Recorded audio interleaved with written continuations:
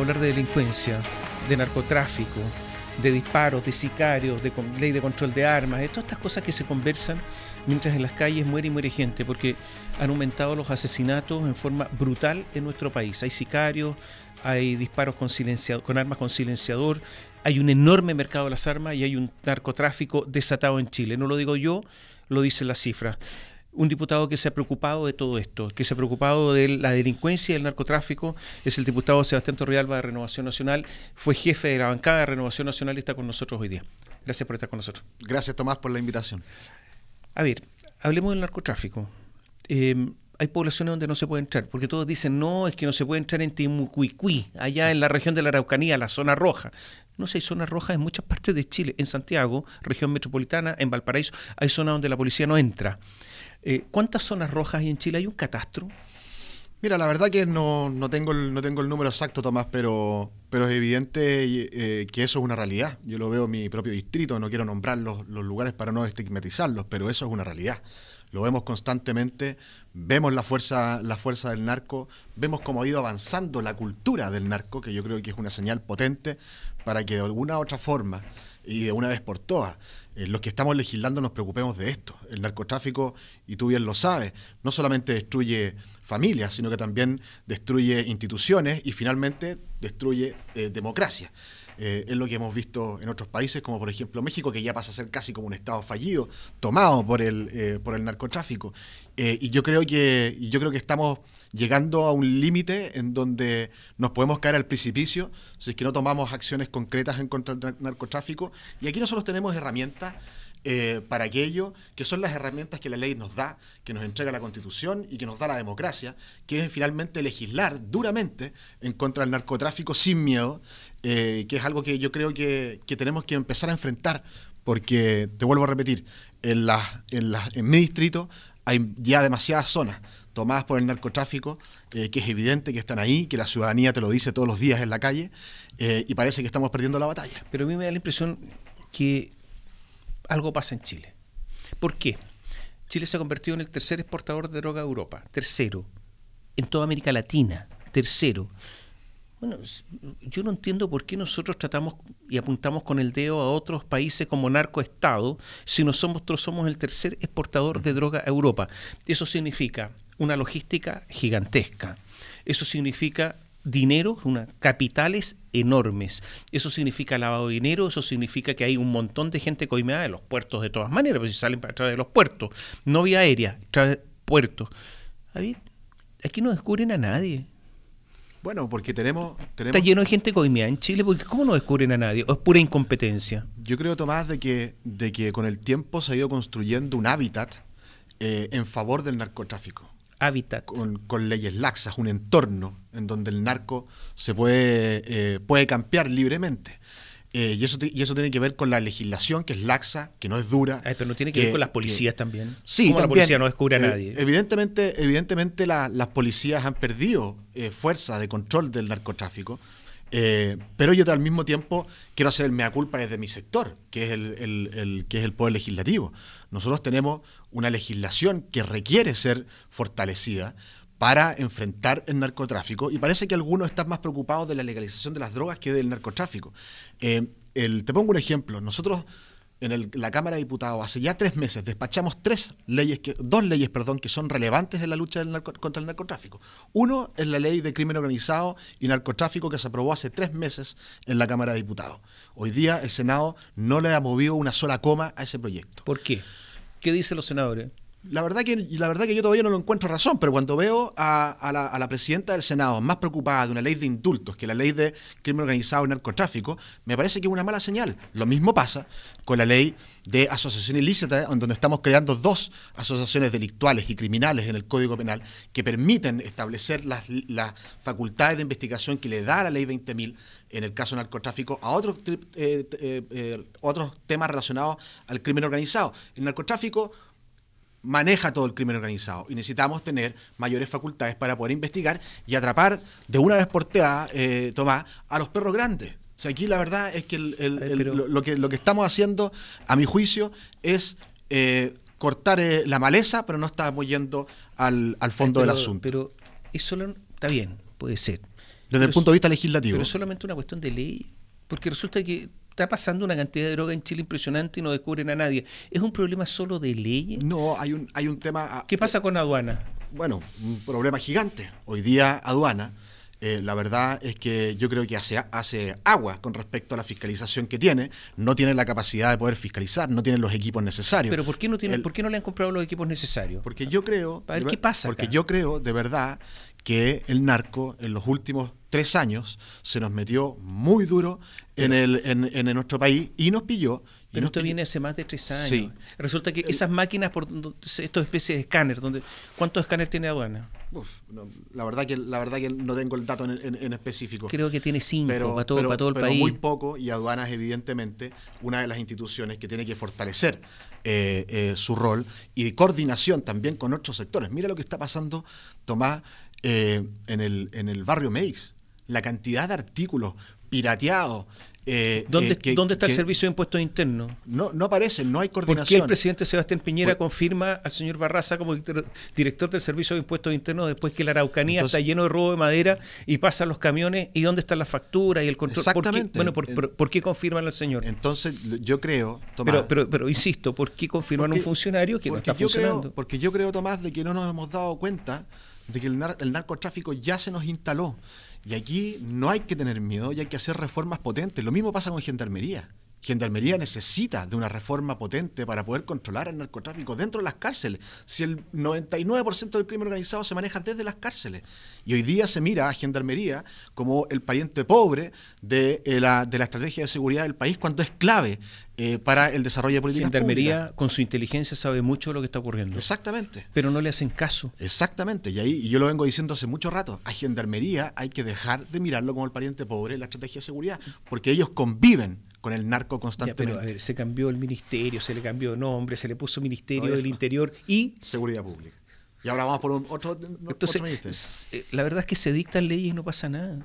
Bueno, por eso yo creo, Tomás, de que, de que es importante de que el, tanto el Ejecutivo como el Congreso en materia de seguridad ciudadana entiendan el problema que estamos. Y aquí te lo quiero decir con franqueza, aquí no le podemos tener miedo al narcotráfico. Y yo creo que a veces algunos le tienen miedo. Cuando hay eh, legislaciones tan evidentes que hay que eh, impulsar y que hay que trabajar porque el narcotráfico se está tomando vastos sectores de la ciudadanía, ya no solamente las poblaciones, está en todos lados. Y eso hay que terminarlo porque ¿Hay además... ¿Hay narcopolítica en Chile? No, no, no, no podría ser tan irresponsable como para decirte eso. Estoy preguntando. El, eh, en el caso, el caso San Ramón, el que más conocemos más cercano, y esperemos que esa, esa investigación salga más rápido posible. esperemos que no. Mira, eh, si el Transantiago, una empresa de transporte, quiere contratar a alguien, le hace control de droga. ¿Y por qué no para dirigir el país? Bueno, o sea, ¿por qué no para dirigir el país? Sí, claro, y para, dirigir distintas instituciones. ¿Por qué no para dirigir un, el ejército? Que estoy poniendo ejemplos cualquiera, ¿no? Eh, ¿Por qué? Porque yo creo que nos hemos entendido que eso es relevante e importante. Lo que hicimos en la ley de crimen organizado y narcotráfico, eh, que salió de la Comisión de Constitución hace tres meses del Congreso, establecemos para cada una de las autoridades electas o que estén en algunas instituciones de que tengan que hacerse test antidroga. Tienen que hacerlo. Es evidente que hay que hacerlo. ¿Hay oposición a eso? No, la verdad es que salió votado eh, muy rápidamente de la comisión eh, ¿y? eso, y eso es bueno. Y entonces, ahora, lo que pasa es que el Senado, nuevamente, tiene un proyecto de ley que es clave para el combate al narcotráfico, es clave para... ¿qué está, ¿Qué está pasando en el Senado? En serio. ¿Qué conversan ustedes los diputados? cuando La, verdad, Tomás, que yo no lo, yo no lo puedo entender, eh, porque de verdad eh, ah, son muchos los proyectos ya que son relevantes para la ciudadanía y que, y que, el, y que el Senado eh, mete bajo un cajón. Solamente te quiero dar un ejemplo. La ley antiterrorista. La ley antiterrorista tiene 60, 60 urgencias vencidas, 20 son de discusión inmediata y todavía no se ponen de acuerdo con respecto a la ley antiterrorista. La ley, eh, la, ley de armas, lo mismo. La ley de inteligencia que está en la Cámara de Diputados. Son tantas las indicaciones que le metieron que ya, ya destruyeron el proyecto. Pero la, ley de armas todo el mundo dice este, este asunto va a afectar a las personas que son honestas, que quieren tener su arma, frente a los delincuentes que les da lo mismo la ley que haya. lo mismo. ¿O no? Entonces, ¿para qué una ley de armas? Mira, lo, importante, eh, Tomás, en, esos casos es hacer todo lo posible para retirar de circulación las armas ilegales que andan dando vuelta, que son muchísimas. ¿Usted tiene un arma, diputado? No, no, no tengo un arma. ¿Tendría un arma? No. ¿Le no. recomienda a alguien tener un arma? No, las armas las carga el diablo. ¿Sí? Sí. ¿No le recomienda a nadie? No. Un señor que está en la Araucanía en su fondo ahí perdido, ¿no? Yo, yo, yo, yo lo que prefiero, de verdad, Tomás, antes que las armas, prefiero, eh, prefiero el, que, el, que el Estado haga su pega. Eh, y, No, pero y no- para eso, y no para eso nos queda mucho. El, y por eso hay que ponerle urgencia a todos estos, eh, estos proyectos de ley. Y, te quiero, y, te- y quiero aprovechar este espacio para solicitarle a mi gobierno que en el caso de la ley de asociación ilícita y en la ley de crimen organizado y narcotráfico le ponga discusión inmediata y ojalá Pero si eso no le hacen caso al Congreso. Ojalá, ojalá los senadores puedan entender la urgencia de estos proyectos de ley. Lo mismo pasa con la ley antiterrorista. Mira lo que está pasando en la Araucanía, lo que vimos, lo que estamos viendo en Tirúa, entre una mezcla entre ver, narcotráfico en y Tirúa, otra. Lo que dimos a conocer en exclusiva esta mañana es que eh, un grupo de 10 a 12 personas, de 8 a 10 personas, entró a un lugar donde había unas cabañas, quemaron a dos personas. Una estaría herida, habría muerto por una herida de bala, otra no se sabe, está totalmente, eh, fue totalmente calcinada, pero había menores de edad y uno de los menores estaba con una denuncia por presunta desgracia, o sea, está siendo buscado por la policía, otro había tenido esa denuncia, todo esto es muy raro, personas de origen mapuche, pero ¿qué es esto? Mira, yo la verdad que aquí, eh, yo creo que esto es absolutamente crimen organizado y estamos perdiendo la batalla, Tomás. La estamos perdiendo. Aquí hay que poner un, una alerta ya. Y no hay que tenerle miedo a esto, hay que legislar rápido, porque tenemos herramientas para hacer la pega bien y las policías, por otro lado, tienen que eh, empezar eh, con un proceso de modernización profunda. Tenemos una ley en el Congreso de Modernización de Carabineros eh, y las policías que avanza muy lento. Entonces, aquí la, la crítica mía, Tomás, es que en distintos espacios, en cosas que son urgentes, eh, el Congreso, porque hablo de mi responsabilidad, el Congreso avanza muy lento. Avanza a dos kilómetros por hora y las urgencias parecieran que están en la próxima elección y no en las cosas terribles que están pasando en Chile. Y una de esas es el narcotráfico. Pero tenemos que ser todos inocentes o inocentones. Es decir, no, en realidad no les interesa, están mirando para otro lado, les interesa no sé qué, están pensando... ¿O es que hay algo más? ¿O es que hay algo mucho más profundo? Mira, ¿O porque no se entiende? O sea, a cada rato están matando gente en las calles. El año pasado aumentaron los, los homicidios en un cerca de un 25%. O sea, esto está desatado, todos lo sabemos. Es. Se están empleando armas con silenciador. Eh, se dice este es una- un ajuste de cuenta y da lo mismo. Es que somos inocentes y tenemos que pensar que en realidad no les importa o, o hay más. yo, yo creo que no están entendiendo la profundidad. Hay un problema de comprensión, Hay, ¿no? que ser, hay que ser muy patudo para decir eso. Yo creo que no estamos entendiendo. Yo hago todos los esfuerzos para combatir esto y no le tengo miedo al narcotráfico. ¿Qué se hace Pero- con los policías corruptos? Eh, el- hace algunas horas encontraron a dos carabineros en un allanamiento por droga y los señores carabineros que estaban ahí empezaron a arrancar por los techos, finalmente los detuvieron, fueron dados de baja, pero dos carabineros que estaban ahí involucrados, Sí, claro. al ahí parecer. El dado de baja inmediatamente y Ya, ojalá. pero pero y ¿qué, oja- pasa con los policías corruptos? ¿Qué Yo- se hace con ellos? Yo creo, yo creo, y ahí hemos conversado en el Congreso con algunos parlamentarios, de cómo hacer eh, estrategias que nos permitan que los eh, carabineros no entren en este mundo, porque están en- ah, hay casos y están entrando. Una de ellas, por ejemplo, que se mencionó por ahí en algún momento, es que cuando un carabinero, por ejemplo, esté relacionado con el narco, eh, ha sido condenado por aquello, pierda su pensión, por ejemplo. Eh, Hay- eh, que pierda su pensión. Sí, son algunas de las cosas que hemos conversado en el Congreso Y- con algunos otros parlamentarios. ambiente, que yo ¿no? creo, yo creo que eh, todo ese tipo de medidas hay que tomarlas eh, con mucha responsabilidad, pero con celeridad. Si aquí, eh, Tomás, eh, por eso yo estuve tan presente en la discusión de estos dos proyectos de ley que te digo, porque, porque entiendo que es urgente, porque lo veo todos los días. Eh, y, aquí, y, aquí las personas en la calle te dicen, oiga, diputado, aquí en la esquina de mi casa venden drogas. Y todos saben, y nadie hace nada. Eso no puede seguir pasando en Chile. ¿Hasta cuándo? Eh, y por eso necesitamos eh, una legislación más potente y necesitamos que nuestras policías sean fortalecidas en el combate del Da la narcotráfico. impresión que la batalla está un poco perdida. En cinco años, entre hurtos, narcotráfico, homicidios, en cinco años fueron condenados 49 mil menores en nuestro país. 49 mil. Si la población carcelaria chilena es de 30 mil aproximadamente. Impresionante. A ver, esto es impresionante. Son los menores. son personas que muchas veces van a reincidir. O sea, es un ejército. ¿Qué posibilidades tenemos frente a eso? Pasa, pasa Tomás, primero de que los narcotraficantes, a quienes yo culpo de toda esta inseguridad que hemos tenido en el último tiempo, eh, ocupan niños, también está establecido en el, proyecto de ley de crimen organizado y narcotráfico, ocupan niños para cometer sus delitos y también esto, esta lógica del sicariato y, de cometer delitos de alto calibre. Em, y por eso, eh, Tomás, y es otra cosa que yo le he pedido al gobierno que lo estudie, porque no es de iniciativa parlamentaria, eh, es que nosotros tenemos que sacar a los narcotraficantes de las cárceles comunes. Hoy día los narcotraficantes en la cárcel mandan Mandan porque tienen plata, mandan porque tienen armas, mandan porque coimean a, a, a, gendarmes, y eso es una realidad. Eh, y por lo tanto, la cultura del narco es la que manda en la cárcel. ¿Qué posibilidad tiene eh, eh, una persona que está detenida de poder rehabilitarse, de poder salir adelante después de, cumplir su pena, si es que está, es parte del ejército de los narcotraficantes? Ninguna. ¿Qué es lo que le he propuesto yo al gobierno?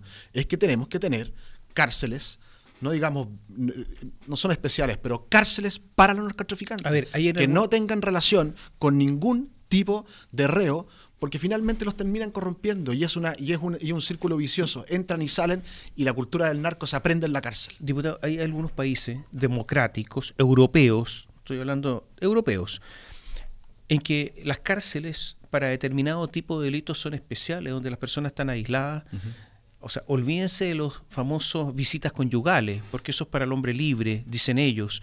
Eh, nada de que la cárcel tiene que estar cerca del domicilio de los, eh, de, los familiares, no. Los familiares tendrán que ver cómo están cerca del domicilio, porque no se puede tener una cárcel especial ante cada o cerca de cada domicilio de un delincuente, de este tipo de delincuente. O sea, cárceles muy, muy estrictas, donde hay una visita al mes, donde siempre la visita es con locutorio. O sea, esos son cárceles en Europa para determinado tipo de delincuentes. Estamos lejísimos de eso. ¿Hay ambiente para eso? Yo creo que eso hay que hacerlo en Chile. ¿Pero hay ambiente para eso? Yo, yo la verdad es que lo, he propuesto en el, en, el, en el gobierno y la verdad que no, no, no, no, siento de que lo tomen como una urgencia. ¿Y con quién? ¿Con quién está el gobierno? El, el, el, Nombre y apellido, ¿con quién? No, da lo mismo, Tomás. No, si no da lo mismo. No, no, no, no.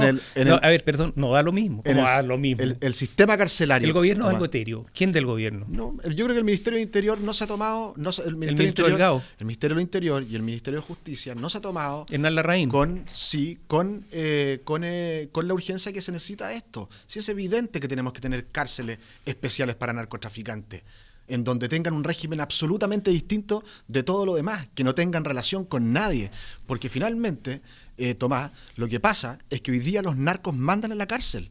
Si hoy día el 98% del crimen organizado se hace desde la cárcel, con teléfonos de prepago, tienen drogas adentro. Esa cuestión tiene que terminar ya. Diputado, vamos a hacer un pequeño alto, le voy a dejar una pregunta planteada. ¿Le gustó que Catherine Martorell, de prevención del delito, se haya ido a la vocería del candidato de la derecha? Volvemos en un instante.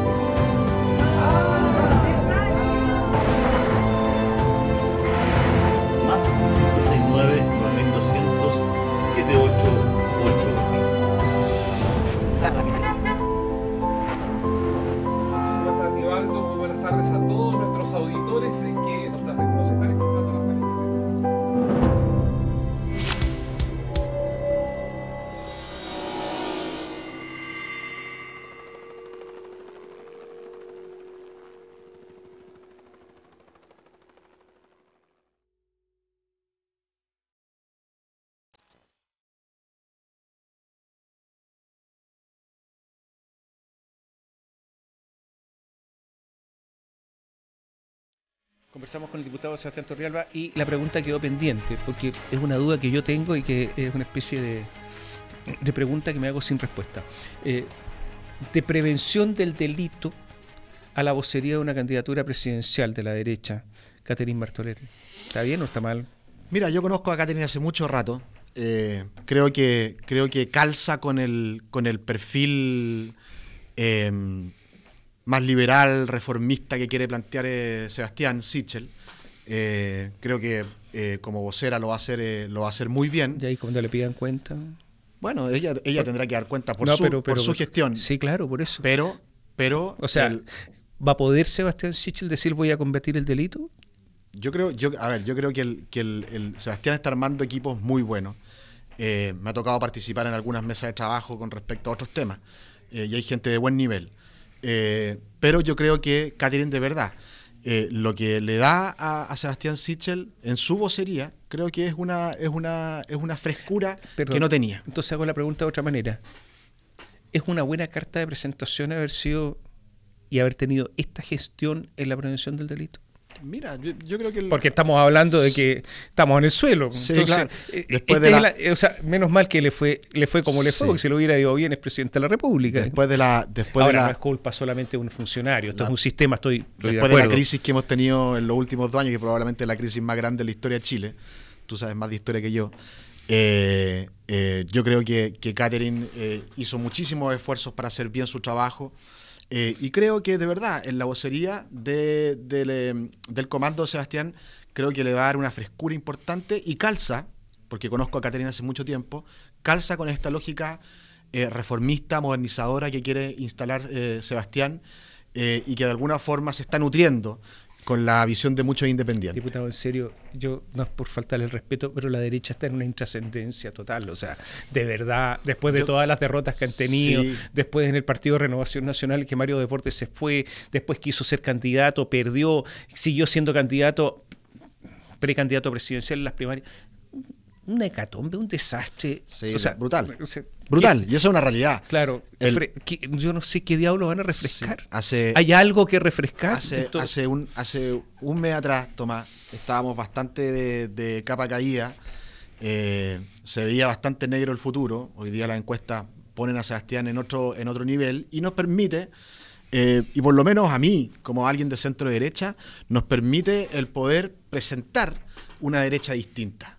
Eh, una derecha que se acopla con el mundo independiente de centro, que tiene una visión eh, más de largo plazo y no son cantos de sirena o no son estos eslogan eh, brutales que ha puesto la izquierda en este último tiempo. Si ustedes ven el programa de gobierno de Gabriel Boric o el de, o, el de Proboste, son cantos de sirena, son casi todo lo mismo, son todo eslogan eh, para vender la próxima elección, pero la verdad es que de, consistencia tienen poco. Y yo creo que Sebastián está articulando eh, un equipo de trabajo, porque me ha tocado verlo, eh, que nos va a permitir tener un programa de gobierno y presentárselo a la ciudadanía en las próximas elecciones, que nos hace, nos hace tener esperanza de que nos vaya bien en la próxima elección presidencial. O sea, está bien Caterina Martorellay. Yo creo que sí. ¿Qué de Francisco Chaguán? Pancho, sí. ahí estuve hablando ayer con él. Ah. Está en el. Pregunto porque no se le ve mucho. Presidente de Renovación Nacional. Pancho está ahí trabajando junto con eh, Diego Charper en, el, en la construcción de nuestra lista parlamentaria. Están con harta pega con eso. Oye, volvamos a las policías. Sí. Víctor Espinosa. Lo primero que quiero decir es que es muy importante la presunción de inocencia siempre. Y por lo tanto no sabemos si es responsable o no de lo que se le acusa. Pero hay un pronunciamiento del Consejo de Defensa del Estado, del Ministerio Público, y va a ser formalizado en algún momento. Si esto fuera así, no lo sabemos, pero si fuera así, quiere decir que la policía más exitosa, la que está mejor en las encuestas, la PDI, también está corrupta. Bueno, esperemos de que eh, primero esperemos de que se investigue tú está de lo correcto la presunción de inocencia siempre tiene que tiene que existir y tiene que ser lo primero que uno tiene que defender eh, ahora eh, entiendo que la querella que ha puesto el Consejo de Defensa del Estado es bastante dura y tiene bastantes elementos concretos. Eh, y aquí lo que aquí no caben ni defensas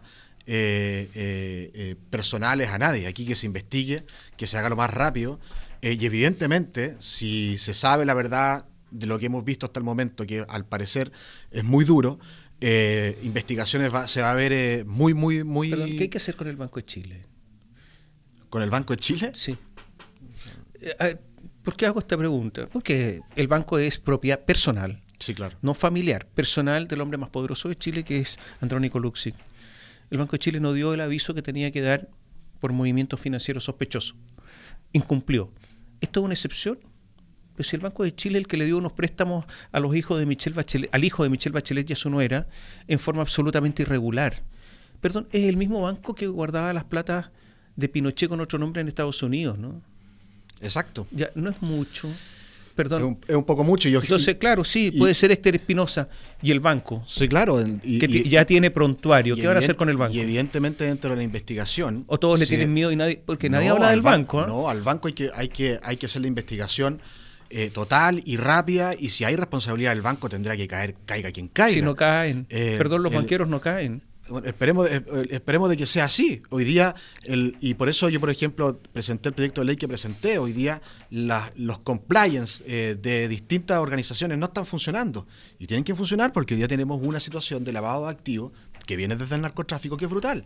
Eh, en el caso de Héctor Espinosa, si hay responsabilidades del banco, bueno, aquí tendrá que caer eh, eh, el, que está a cargo del, del buque. Eh, nosotros sí lo establecimos ahora en un proyecto de ley que se acaba de aprobar que son los delitos económicos y que quedaron establecidos en el Código Penal.